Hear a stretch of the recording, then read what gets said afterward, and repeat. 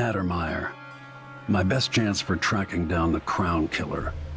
The place used to be a solarium for the idle rich where they flocked for rejuvenation treatments. It was founded just after the plague hollowed out Dunwall a decade and a half ago. Alexandria Hypatia is chief alchemist, and whether Anton Sokolov is still there or not, she's going to give me the answers I need.